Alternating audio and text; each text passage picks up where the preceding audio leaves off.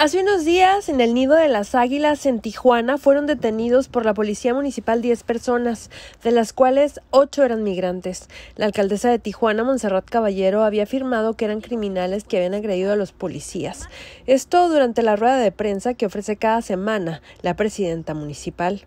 Vea, Vea, se dice que en los ojos se ve cómo es la persona, pero creo que no necesitamos verle los ojos para ver el tipo de maleantes que son. Cualquiera de estos maleantes que usted se encuentre en su camino, sin duda no van a dudar en hacerle daño. Y esto no sería posible, esta detención no sería posible si un vecino de la calle América en el nido de las águilas no hubiera llamado al 911 o utilizado el botón morado. Apenas este jueves, el fiscal de Baja California aclaró los hechos que se suscitaron en el nido de las águilas y confirmó la identidad de las 10 personas detenidas, de las cuales 8 eran migrantes.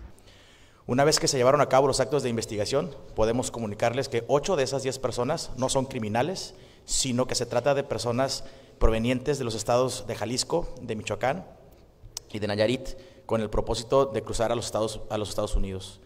Es importante eh, saber además que eh, la condición de ser migrante no es un delito, es un derecho que tienen las personas para planificar sus vidas en los lugares que consideren que sean mejores para el desarrollo de su actividad. Eh, personal, familiar y, pues, bueno, de trabajo. Dos de estos otros sujetos, eh, en efecto, son, eh, de acuerdo a las investigaciones, presuntamente responsables de haber agredido con armas de fuego a los oficiales de policía. Según activistas, las declaraciones de la alcaldesa sobre las personas en contexto de movilidad son desafortunadas. Esto no es nuevo y este, no por eso justificamos que pase, pero sí ha habido en el, en el trayecto de muchas declaraciones de diferentes funcionarios, desde el presidente de la República, hasta nuestra funcionaria municipal, eh, Montserrat Caballero, declaraciones criminalizadoras, ¿no? como la que realiza este, hace unos días respecto de la apariencia y en donde ya menciona que se les ve la maldad a las personas en los ojos y que son em, malandros, dijo, fue la palabra, malandros que utilizó.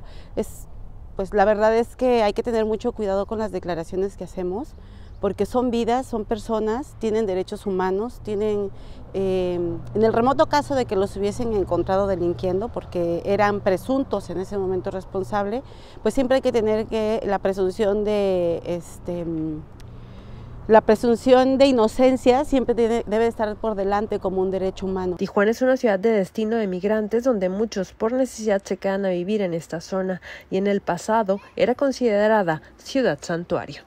Informó en Tijuana para aquellas igual 50 en San Diego, Julio Vázquez y Yolanda Morales.